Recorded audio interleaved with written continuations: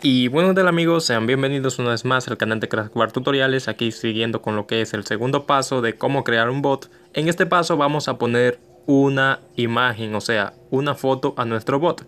Como lo vimos en el video anterior, creamos el bot y al momento de entrar vimos que no tenía ninguna función. Si le damos a iniciar, pues podemos ver que no hace absolutamente nada. Y si le damos encima, en su nombre, donde dice Craftbar aquí encima, se abre esto y vemos que no tiene foto. Entonces, en este paso, segundo paso, vamos a poner una foto a nuestro bot. Vamos a regresar aquí a lo que es botfather, como podemos ver. Y podemos ver que aquí nos dice este comando, que es slash help. Eh, podemos eh, teclearlo, eh, este slash y help, tal cual lo están viendo aquí en teclado, y le damos a enviar.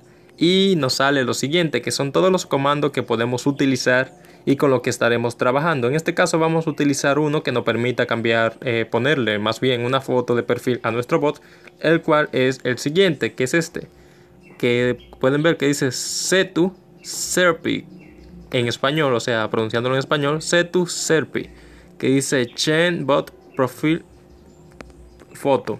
Entonces es como cambiar la foto del bot. Mi inglés no es que sea el mejor, pero bueno. Entonces podemos hacer dos cosas. Es darle ahí donde, donde está el comando que queremos seleccionar. Como pueden ver este. Ahí le doy. Y se abre también. En este caso. O escribirlo tal cual. Como podemos ver. Podemos poner el slash.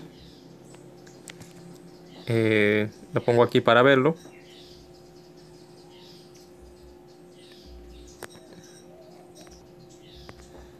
Y se escribe de la siguiente manera: setu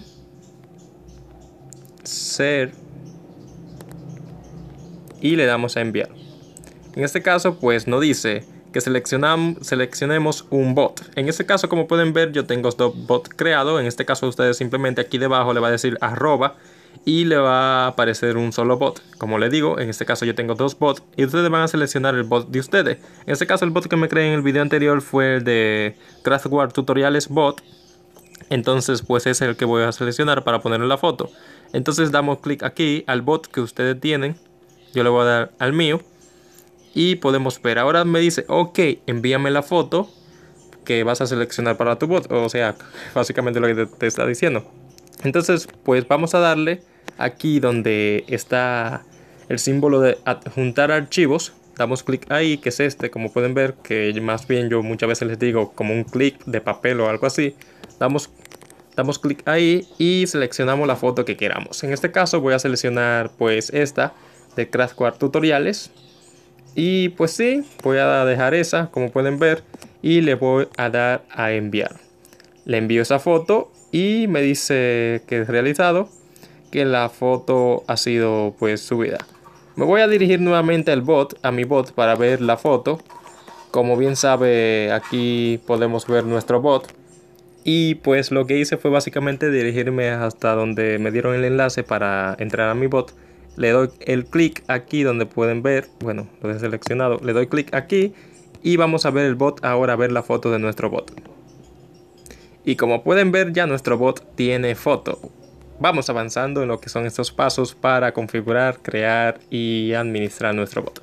Este fue el paso número 2, espero que le haya gustado el vídeo.